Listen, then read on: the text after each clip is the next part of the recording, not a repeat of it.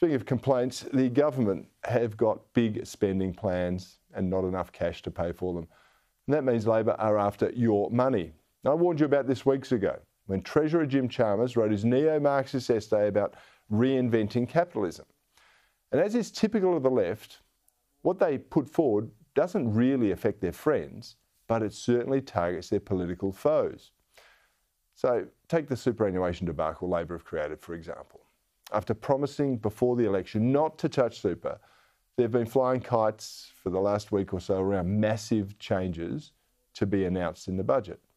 And after a bit of a backlash, they're crab walking away from what they first put out there, but it provides a great insight into their intentions. What Labor were suggesting would have actually enabled the union led industry super funds to become even stronger. And that would have kept the stream of donations, of sponsorship, of jobs for the boys flowing Labor's way. And what about their mooted cap on your super? They're still talking about it tonight. It's a policy of class warfare. And Labor knows that imposing a limit on super will actually appeal to many people. I can understand that. We're told the average super balance is 150,000. And when you hear about those with millions in super, it's only natural that you might feel a little hard done by. But this is where the principle of what we're talking about is important. If people chip into super under the rules of the day, how is it fair that they're then penalised because the government, whomever it is, changes their mind? Now, I said the same thing when Scott Morrison was Treasurer and then Minister Kelly O'Dwyer. They stuffed around with super too.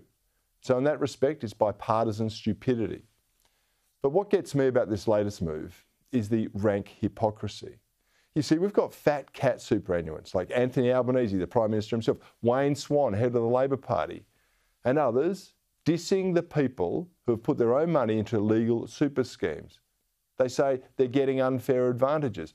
But here's the thing they don't want you to know.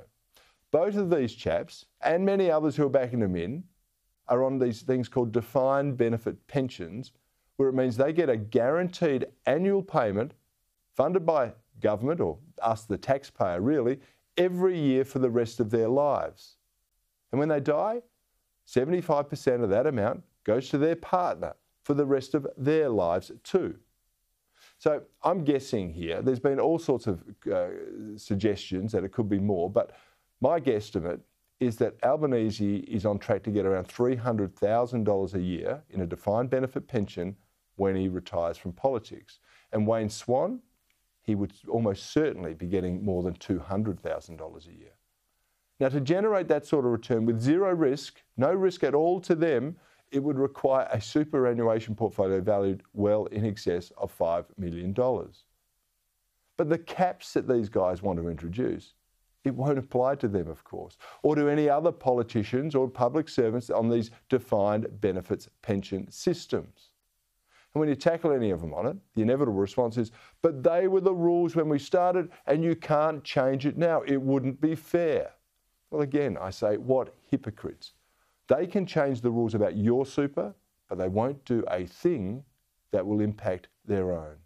It's ruled by the elites for the elites.